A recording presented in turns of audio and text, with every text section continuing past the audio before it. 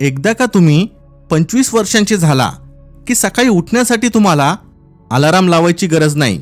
तुमचे प्रॉब्लेम्स आणि जबाबदाऱ्या तुम्हाला सकाळी लवकर उठवतील. तुमच्या आनंदासाठी तुम्ही स्वतः जबाबदार आहात. जर तुम्ही आनंदी होण्यासाठी दुसऱ्यांवर अवलंबून राहाल तर तुमच्या हाती फक्त निराशा लागेल. लोक जेव्हा तुमच्याशी बोलणे बंद करतात मग ते तुमच्याबद्दल बोलू लागतात. मित्रांसोबत जेवण केल्याने जेवणाची चव वाढते नैराश्यही कमी होते. जेव्हा तुम्ही लोकांना हसवता तेव्हा आपसुकच लोक तुमच्याकडे आकर्षित होतात. तुमचा मेंदू एखाद्या घटनेबद्दल दोनच गोष्टी लक्षात ठेवतो. त्या घटनेमधला मोठा इमोशनल सीन आणि शेवट. केळी किंवा हिरव्या सफरचंदाचा वास घेतल्याने वजन कमी होण्यास मदत होते. लोक तुम्हाला यशस्वी होण्यासाठी भरभरून शुभेच्छा देतील.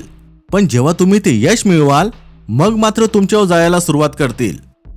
तुम्ही किती खरे आहात हे जर तुम्हाला लोकांना सांगावं लागत असेल तर कदाचित तुम्ही आतून खोटे आहात.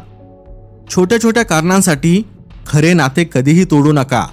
ह्या जगात कोणीही सर्वगुण संपन्न नाही कोणीही परिपूर्ण नाही. शेवटी प्रेम भावनिक ओलावा नेहमीच दोषांपेक्षा मोठा असतो. वेळेप्रमाणे रंग बदलणाऱ्या लोकांवर कधीच विश्वास ठेवू नका. वेळ कोणतीही असू दे पण जे कधीच बदलत नाही अशा लोकांवर विश्वास ठेवा. पाण्याचा थेंब तलावात पडला तर त्याचे अस्तित्वच राहत नाही. पण तोच थेंब कमळाच्या पानावर पडला तर तो मोत्यासारखा चमकतो. आता आपल्याला कुठे पडायचे आहे हे आपणच ठरवायचे आहे. परमेश्वर काही ठराविक कारणामुळे लोकांना तुमच्या आयुष्यात पाठवतो आणि चांगल्या कारणासाठी काही लोकांना तुमच्या आयुष्यातून काढून टाकतो.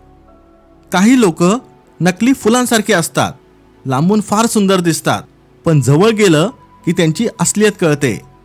लोक काय म्हणतील? ह्याची पर्वा करायची तुम्ही सोडून दिली असेल तर तुम्ही यशाची पहिली पायरी चढली आहे. पुरुष सुंदर डोळ्यांकडे लगेच आकर्षित होतात. तुम्हाला कितीही राग आला तरीही तुम्ही तुमच्या आवडत्या लोकांना शेवटी माफ करता. रागात असताना निर्णय घेऊ नका.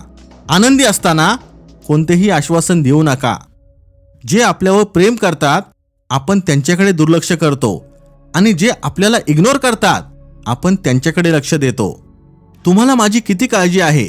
तुमचे माझ्यावर किती प्रेम आहे? हे दाखवण्यासाठी माझ्या मृत्यूची वाट बघत बसू नका. मी जिवंत असतानाच मला कळू द्या की तुमचे माझ्यावर किती प्रेम आहे. ज्या लोकांना तुमची किंमत कळत नाही अशी लोक तुमच्याबरोबर राहण्याच्या लायकीची नाही. एखादी व्यक्ती हॉटेलच्या कर्मचाऱ्यांबरोबर कशी वागते ह्यावरून त्या व्यक्तीच्या चरित्र्याबद्दल बरेच काही समजते. मित्रांनो शहानपण चॅनलचे ऑफिशियल इंस्टाग्राम अकाउंट ओपन झाले आहे. लिंक डिस्क्रिप्शनमध्ये दिली आहे. लगेच फॉलो करा. Thanks for watching. Stay blessed.